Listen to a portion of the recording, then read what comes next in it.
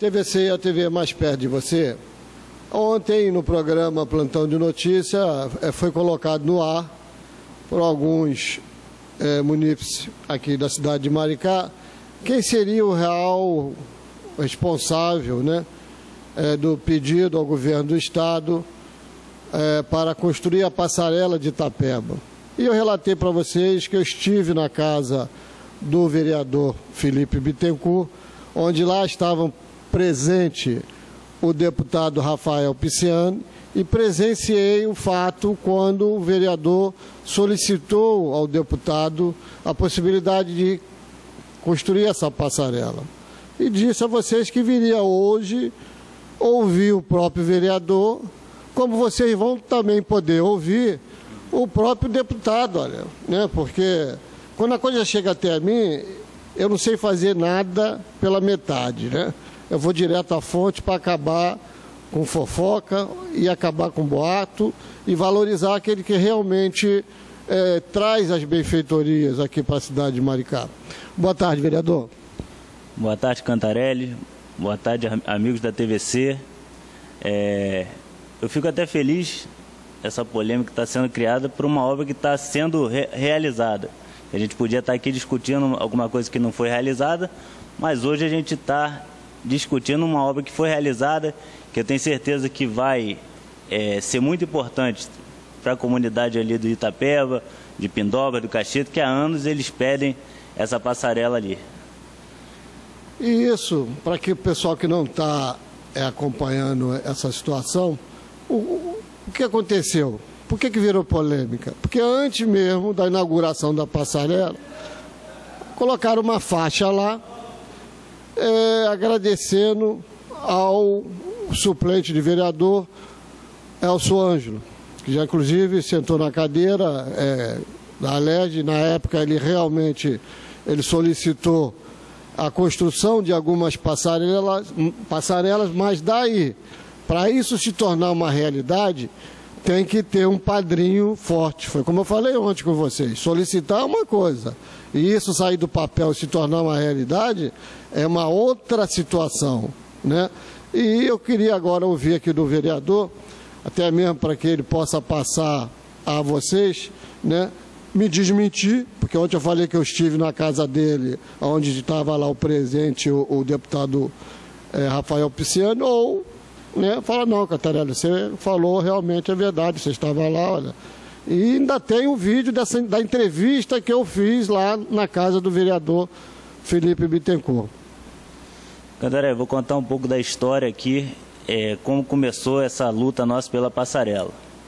É, o Rafael Pisciani, ele é deputado desde 2010, é, e eu, fazia, eu faço parte da juventude do PMDB e militei com ele na juventude, ajudei ele e desde que ele é deputado, eu faço esse pedido a ele, por eu ter muitos amigos em Itapeba e ver ali no Caxito, em Bidobras, é, o, a preocupação dos pais quando os filhos vêm atravessar, que ali tem o Colégio Estadual Cacilda também. E essa é uma luta antiga da comunidade ali. É, e ele sempre me falava nas reuniões, pô, Felipe, muita gente veio aqui, prometeu que vai fazer a passarela, vai, já, já se passam 20 anos aqui e ninguém faz. E eu peguei isso como uma bandeira minha, passei isso para o deputado.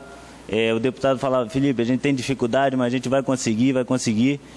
E quando eu me tornei vereador, a primeira indicação que eu fiz aqui foi o pedido da passarela. Só que indicação legislativa, ela é uma coisa que não é, não é o vereador, o deputado pede que a coisa vai acontecer.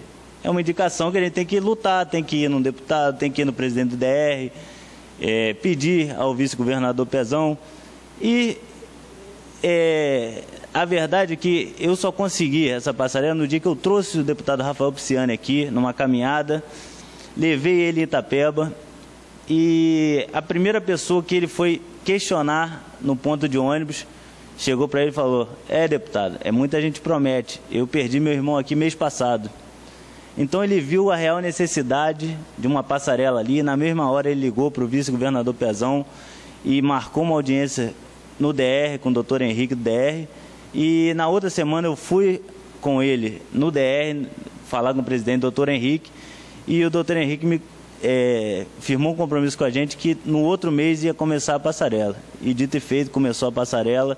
E graças a Deus a obra já está aí é, bem avançada e acho que no final do mês já, a passarela já está pronta.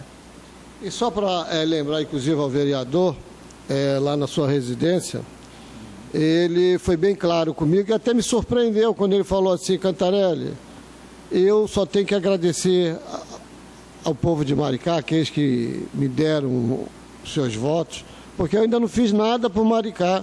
Estou em dívida com a cidade de Maricá. Eu achei isso, assim, uma declaração espontânea né, de um jovem político, né, é, afirmando que ele está em dívida com a nossa cidade. Não ficou só é, no, pelo meio do caminho, né, como outros deputados prometeram, falaram que queria noivar, namorar e depois casar. E até hoje estou esperando ele fazer alguma coisa aqui pela cidade de Maricá e nada foi feito até agora, né, deputado Paulo Melo? Mas eu sou paciente, vou aguardar que um dia o senhor possa lembrar aqui é, da cidade que lhe deu uma votação.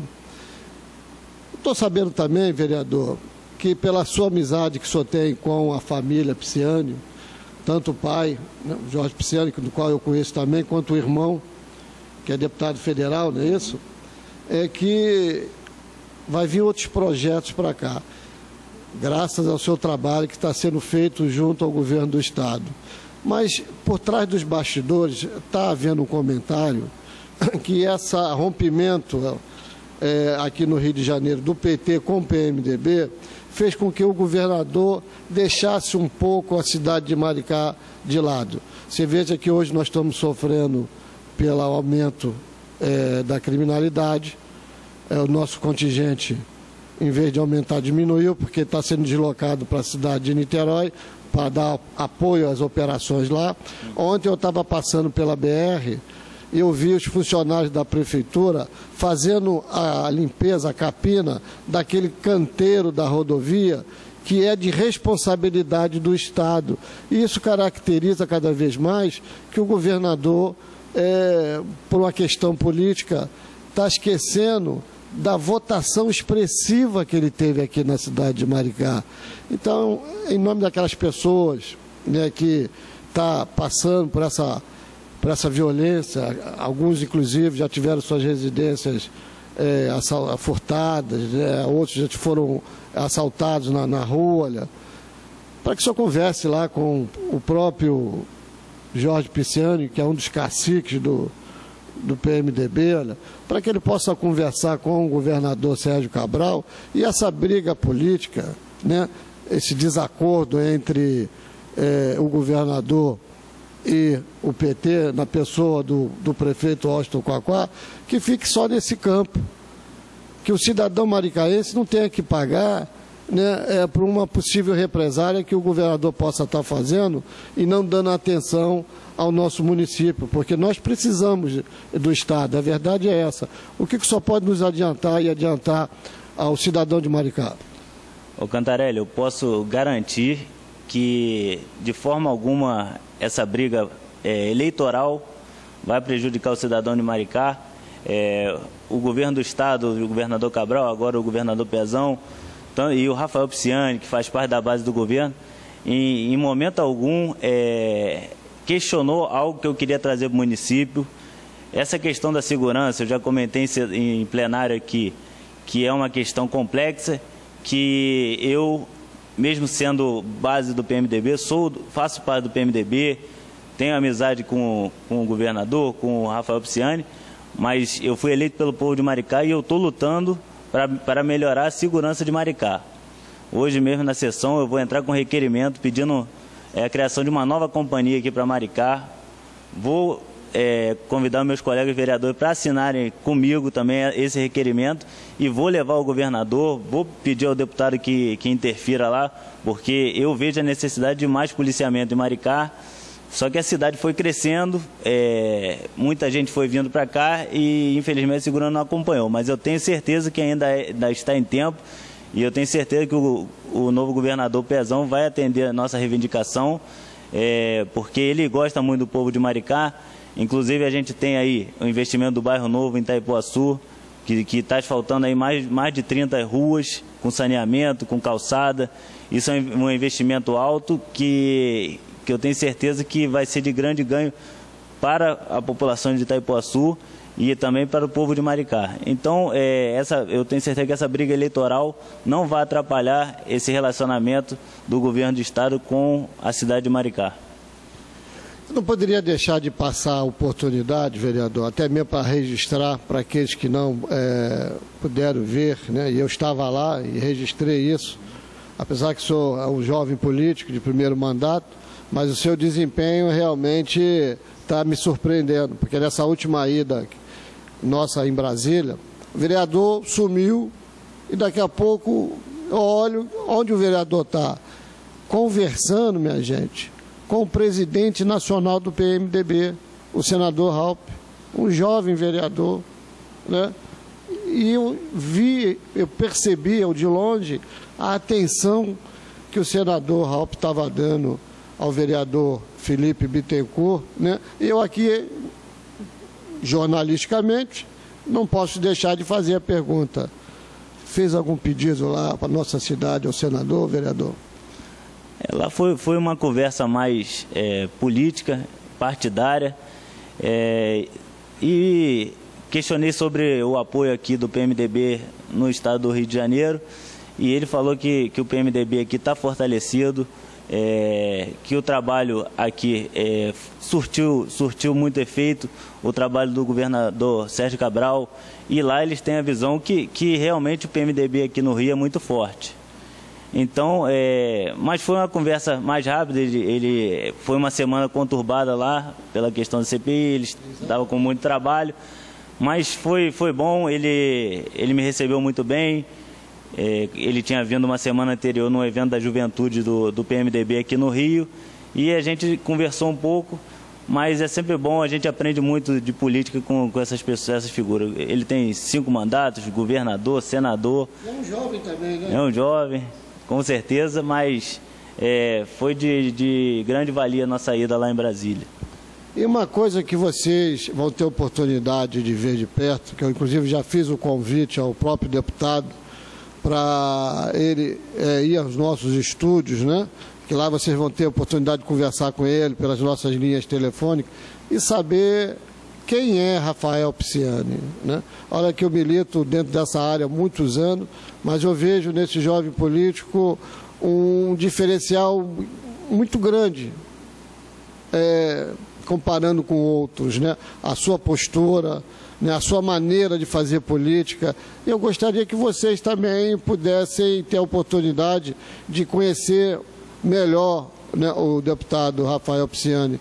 E eu reitero aqui o meu convite, vereador, através da sua pessoa, para que lembre lá ao deputado que ele possa agendar a vinda dele nos estúdios da TVC, que a Rádio Sideral vai estar em, em conjunto nessa transmissão e grande parte de Maricá vai poder acompanhar essa entrevista, esse bate-papo, para que as pessoas possam conhecer nesse jovem político que é, tem muito a dar dentro dessa área. Né? E como ele mesmo falou, ele está em dívida com a cidade de Maricá pela votação que ele teve aqui. Já começou a pagar essas dívidas, né? já começou com essa passarela e tem certeza que outras benfeitorias ele vai trazer aqui para o nosso município. Lembrando a vocês, olha, que à noite no programa eu vou estar com ele pelo telefone, né? Para a coisa ficar assim bem transparente. Dê a César o que é de César. Né? Se amanhã o Elcio Ângelo trouxer realmente algo que eu possa registrar, é esse projeto teve início com o Elcio Ângelo e finalizou com o Elcio Ângelo, é dele. A verdade tem que ser dita, né? não ficar nas entrelinhas para passar é, uma falsa realidade ao cidadão de Maricá. Quer deixar uma mensagem aí, vereador?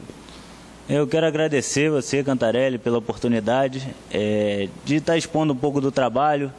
É, outra, outra bandeira que eu estou levantando, já fiz o pedido na UDR, o Rafael Pisciano me levou lá, eu conversei com o presidente da DR, que foi um, uma construção de um novo retorno ali na, na saída do Flamengo aqui, porque eu acho que ali tem que ter um novo retorno, porque está causando muito acidente. E o, o doutor Henrique, presidente da DR, é, se comprometeu com a gente esse ano ainda começar o estudo para a gente construir um novo retorno. E eu conto muito com a ajuda do Rafael Pisciano nisso. Tenho certeza que o governador Pezão vai entrar também nessa luta, mostrando que, que uma briga eleitoral não pode interferir no, numa ajuda do governo do estado à, à cidade de Maricá. Com certeza. Né? E queria adiantar nossos amigos, olha, que está na nossa planilha de trabalho, todas as quartas-feiras nós batemos um papo aqui com algum vereador, com mais de um vereador. Então você pode fazer a sua pergunta e nós vamos trazer a sua pergunta respeitosamente, lógico, evidente. Isso aí é um requisito que é, tem que ser feito, não pode isso ser quebrado de forma alguma, né, para que os próprios vereadores tirem as suas dúvidas. Né, e possivelmente esse bate-papo aqui vai ser ao vivo. E vocês vão poder até participar por telefone. Só está faltando mais um equipamento chegar dos Estados Unidos para que a gente possa alinhar os equipamentos. E isso que está sendo feito hoje, gravado aqui é, na Câmara Municipal de Maricá, vai ser feito ao vivo, com vocês participando. Essa é a nova Maricá, né, acompanhando aí é, a realidade desse crescimento e dando oportunidade a que vocês também possam estar tá, é, participando ativamente. Muito obrigado a todos, até qualquer momento.